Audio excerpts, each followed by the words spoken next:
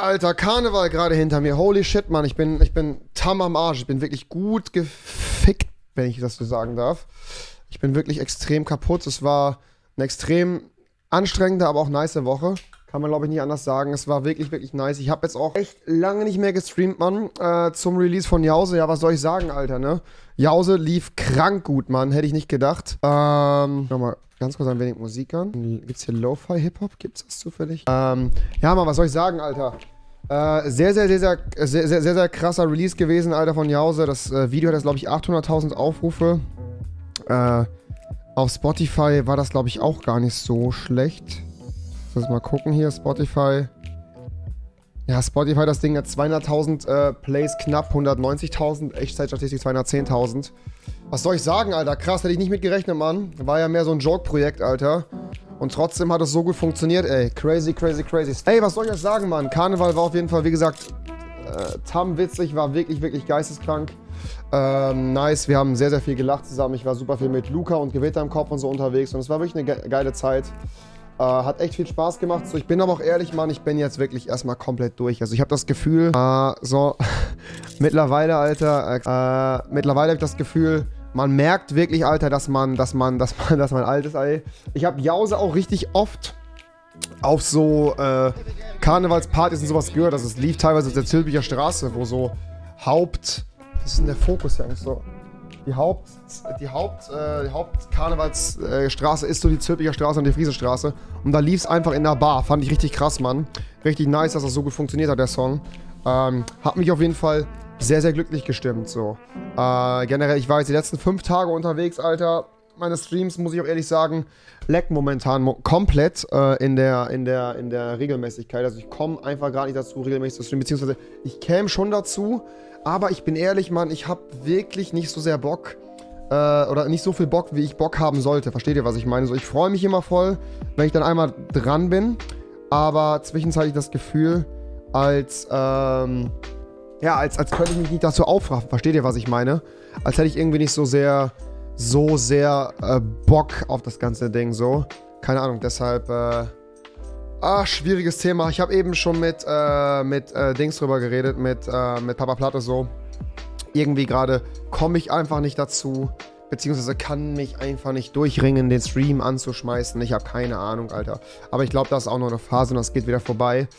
Äh, ich habe mir tatsächlich eine Sache, die ich mir gleich erstmal mit euch anschauen wollen würde, ist äh, das Video von, ich weiß nicht, habt ihr alle das Video von Jan gesehen? Habt ihr das äh, Video von Jan alle gesehen, von Jan Meyer?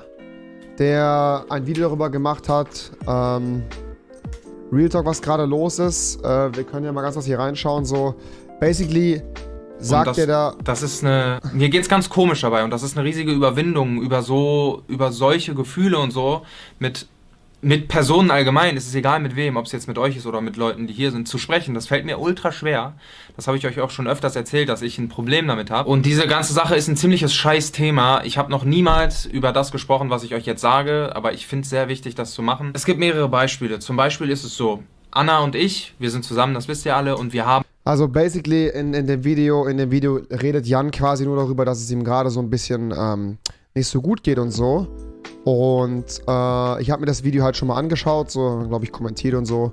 Ähm, und ich glaube, er hat sogar Kommentare ausgemacht, tatsächlich. Krass. Und ähm, das? Ja, also ich habe das Video auf jeden Fall schon mal gesehen. Und Jan sagt einfach nur, dass es ihm momentan nicht so gut geht, weil er quasi aufwacht und so eine Leere in sich fühlt und sowas. Äh, True Religion kenne ich ja. Und nicht weiß, wohin. Und ich bin ehrlich so, äh, ich fühle mich, also zwischenzeitlich selber auch so, Klar, so ich war jetzt die letzten fünf Tage unter Menschen und äh, hab so einen ähnlichen Vibe wie Jan vom, vom, vom, vom jetzigen Standpunkt her. So, ich weiß auch selber nicht, äh, wo, woran es liegt, so weil ich normalerweise, man wacht morgens auf, geht zum Sport, bla bla bla bla. Aber momentan ist es bei mir auch ähnlich wie bei Jan, glaube ich. Äh, wir wissen beide nicht ganz genau wohin und äh, haben theoretisch so viele Verpflichtungen, Alter, aber irgendwie kickt dann irgendwas rein nach, nach x Jahren Arbeit, so ein bisschen Burnout-mäßig, dass man tatsächlich erstmal so ein bisschen, ähm, ja, ein bisschen im Sack ist, ein bisschen kaputt ist. Wisst ihr, was ich meine? So.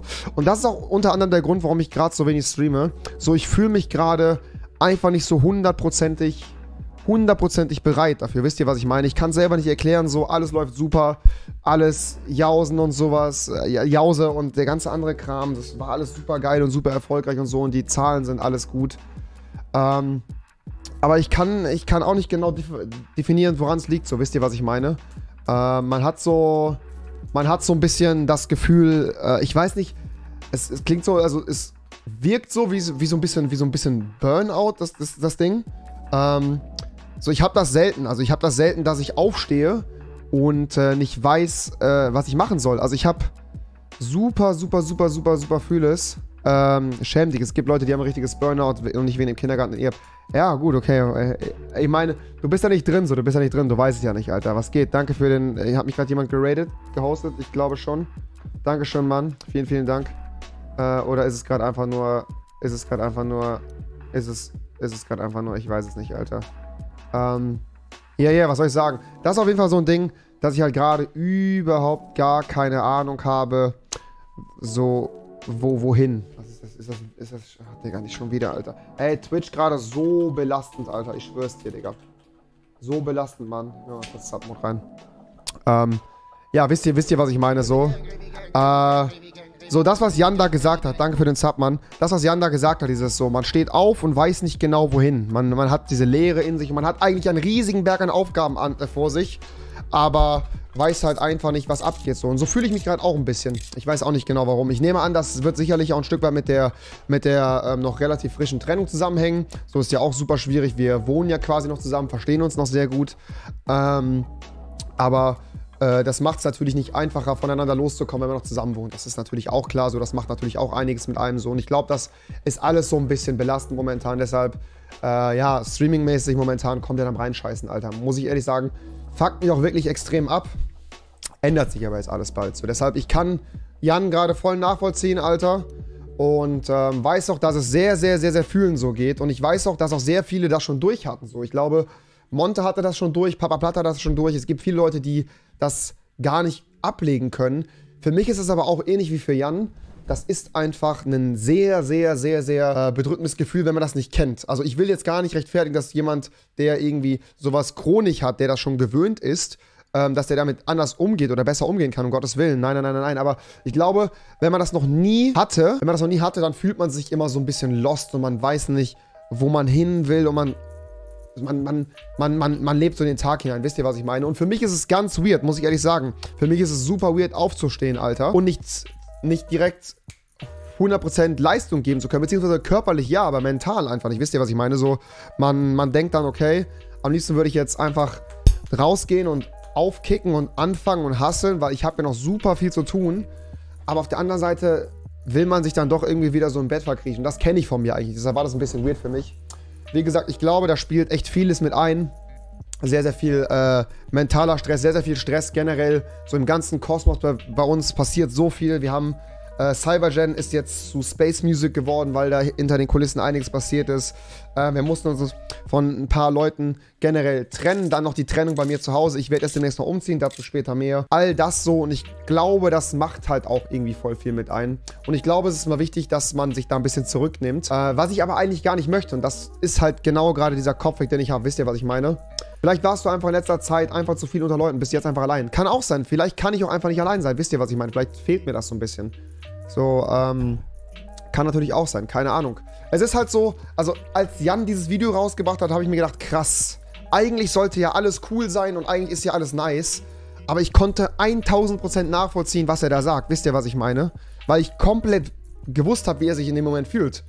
Es ist halt super weird für jemanden, der das noch nicht hatte. Wisst ihr, was ich meine? So, man, man steht quasi auf und ähm, ich, eigentlich bin ich, ich bin aufgestanden, habe gefrühstückt mit dem Hund raus zum Sport. Aber jetzt irgendwie halt anders, wisst ihr, was ich meine? Und ich will, um Gottes Willen, es ist, es ist, es ist, nicht, es ist nicht dramatisch oder so, ich will mich nicht umbringen oder sowas, aber es ist halt wirklich, wirklich seltsam, mit dieser mentalen Leere so ein bisschen aufzuwachen und nicht zu wissen, ähm, wohin, Alter, wohin? Also das war das Ding, relaxe erstmal und dann mach weiter. Ist, ist auf jeden Fall eine Ansage, so, ist auf jeden Fall eine Ansage, keine Frage. Ist halt nur das Ding, hilft mir das wirklich weiter? Also ich meine, vielleicht ist sogar die Beschäftigung nicht verkehrt. Ich kann es ich kann's nicht genau sagen, Mann. Ich kann es nicht genau sagen. Es ist halt, ja, es ist halt einfach gerade so der Grund, warum, warum auch so unregelmäßig Videos kommen und so. Und ich bin auch nicht hundertprozentig zufrieden was gerade auf meinem Kanal kommt und was gerade auf Twitch passiert und so. Ich weiß nicht, ich hätte da gerne viel, viel, viel, viel mehr Struktur drin und so, aber das kommt, glaube ich, alles mit der Zeit. Ich glaube, das braucht einfach wieder ein bisschen. Ähm, ich nehme an, dass da auf jeden Fall, wie gesagt, immer noch so ein bisschen der, der verschleppte Schmerz von der Training auf jeden Fall mitzieht. Dann super, super viel Stress, den wir einfach haben.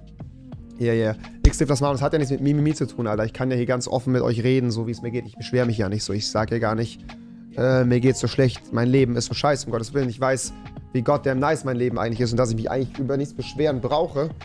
Aber, ähm, ja, es gibt, es gibt diese Momente, wo es einem äh, trotzdem mal Trotzdem, äh, obwohl man eigentlich alles hat, irgendwie fehlt etwas. Und so geht es mir gerade so ein bisschen. Ich weiß auch nicht genau, was das ist, aber ich denke mal, das werde ich irgendwie schon outfigern.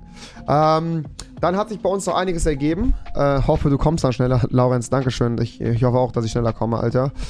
Äh, Urlaub und sowas ist auch gerade für mich gar nicht das Richtige. Habe ich auch drüber nachgedacht, ob das, ob das irgendwie nice wäre, jetzt auch mal in Urlaub zu gehen oder so. Aber ich glaube nicht, dass mir das jetzt weiterhelfen würde. Ich glaube, es ist wichtig, dass ich erstmal hier meinen ganzen Scheiß aussaut und so. Und, äh, ja, so langsam mal den Move mache. Äh, der Move, von dem ich gerade rede, ich, ich ziehe wahrscheinlich, also ab nächster Woche Samstag haben wir eine äh, neue WG. Ich ziehe mit einem Kollegen von mir, meinem Bruder zusammen in eine WG. Ich hätte die alte Wohnung auch behalten können, so finanziell. No Flex wäre das äh, vollkommen problemlos gewesen. Hab mich aber dagegen entschieden, weil ich irgendwie gesagt habe, boah, äh, ich will auch da so ein bisschen abschließen und vor allen Dingen äh, primär einfach auch eine bessere Wohnsituation für den Hund schaffen, so äh, mit mehr Auslauf und sowas, bla bla bla bla. Kommen Vlogs zum Umzug. Muss ich schauen, ich wohne nicht alleine in der Wohnung, so ich wohne mit meinem Bruder, meinem Freund, da muss ich gucken, was ich machen kann. Eine Roomtour von meinem Zimmer und den anderen Zimmern wird es vielleicht wahrscheinlich geben. Ja, safe, also ich denke schon. Ähm, ja, also wie gesagt, nächste Woche Samstag ziehe ich um. Äh, Freue mich auf jeden Fall übertrieben drauf, beziehungsweise nächste Woche Samstag mit Schlüssel umziehen werde ich wahrscheinlich erst später. Koch-Livestreams kann ich dann auch endlich machen. Wir haben eine geile Küche drin, so wir haben auch lange gesucht. Äh, Jodie zieht dann auch in eine eigene Wohnung. Wir wohnen relativ close noch beieinander, glaube ich sogar. Also was heißt glaube ich, also ich weiß es.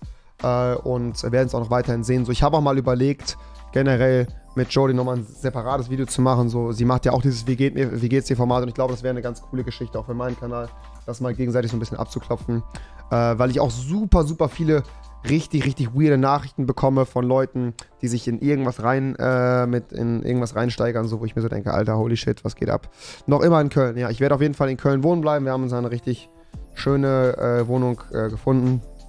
Und äh, mehr Vloggen wäre auch wieder nice. Ist auch so ein Ding, genau, ist auch so ein Ding. So, Vlogging habe ich auch wieder tam Lust drauf, Alter.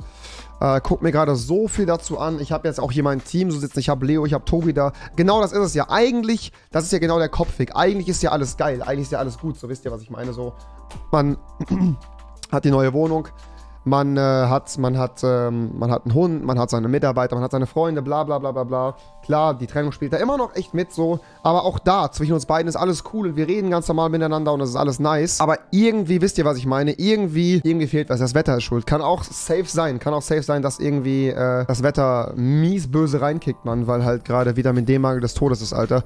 Ich fühle auch manchmal meine Leere, aber ich glaube, das liegt am Wetter. Kann sein, Vitamin D-Mangel auf jeden Fall. Ich nehme eh äh, Vitamin D-Tabletten so und ähm, war auch diesen Monat tatsächlich das erste Mal seit langer Zeit im Solarium. Macht auf jeden Fall einiges. Äh, hilft doch auf jeden Fall gut. Aber ich glaube nicht, dass es nur das Wetter ist. Ich glaube, dass es generell. Wisst ihr, ähm, wenn, man, wenn man das Leben so in Abschnitte unterteilen würde, glaube ich, ist gerade wieder so ein, so ein Schnitt, so ein Abschnitt, der quasi gerade passiert und äh, man schreitet jetzt irgendwie weiter. Und es ist halt immer, glaube ich, relativ schwierig, über so einen Abschnitt hier drüber, zu, äh, drüber wegzugehen. Ich glaube, der letzte Abschnitt den ich gefühlt so hatte tatsächlich, ähm, war halt mein Umzug nach Köln und so. Das ist jetzt fast sechs Jahre her oder fünf Jahre her. Ähm, ja, fünf Jahre muss es her sein, knapp.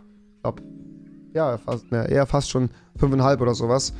Ähm, deshalb äh, glaube ich, ist das jetzt auch so ein bisschen die Umgewöhnungsphase. Jetzt neuer Abschnitt, neue Wohnsituation, langjährige Beziehung vorbei. Ich habe einen Hund plötzlich, ich habe super viel Zeithassel nebenbei abgebaut, äh, aufgebaut, so. Äh, und das ist natürlich dann auch nochmal sehr, sehr viel. Ich predikte, im Sommer wird alles wieder geil. Ich habe auch so eine Phase seit Januar. Haben aber viele Leute momentan. Also generell glaube ich, dass 2019 so ein Jahr ist, wie gesagt, wo sich sehr, sehr viel für sehr viele Leute geändert hat. Nicht nur auf Beziehungsebene, sondern auch generell in deren Leben so. Und ähm, deshalb, ja, ey, Jan, ich fühle dich in diesem, in diesem Video hundertprozentig komplett, Mann. Und es ist wirklich weird, als ein Mensch, der immer sehr, sehr positiv durchs Leben geht, äh, nee, nee, 2019 hat es angefangen, 2020 ist jetzt, ich weiß. Ähm, 2000, ähm, äh, genau, was ich sagen wollte. äh, dass, dass, dass man als, als Mensch, der eigentlich super, super positiv ist, erstmal gar nicht damit klarkommt, wenn dann sowas hittet. Wisst ihr, was ich meine? Weil man es einfach nicht gewöhnt ist. Man ist es einfach nicht gewöhnt. So, es war für mich auch echt weird, das so, dass du tatsächlich, ähm, dass du tatsächlich äh, so ein bisschen zu getten und zu verstehen. Wisst ihr, was ich meine? Was macht der Stift äh, in deinem Finger? Den ramme ich hier später den Finger rein für ein neues 6 Millionen Views Video. Was geht ab, Alter? Deshalb, yeah, yeah. So, so viel auf jeden Fall dazu. Nächste Woche Samstag ist der Umzug, beziehungsweise ähm, der Wohnungsschlüssel. Äh, Roomtour wird wahrscheinlich kommen. Ich freue mich übertrieben drauf. Bin happy, dass das geklappt hat. Und äh, ja, Mann, ich, äh, ich, ich bin gespannt, was 2020 geht. Äh, also ich glaube, da ist noch ähm, Luft nach oben definitiv bei uns allen und ich glaube, das sollten wir auf jeden Fall nutzen. Äh, und ich hoffe, dass ich mein Streaming-Game in diesem scheiß Jahr wirklich irgendwie auf die Reihe, äh, auf die Reihe bekomme.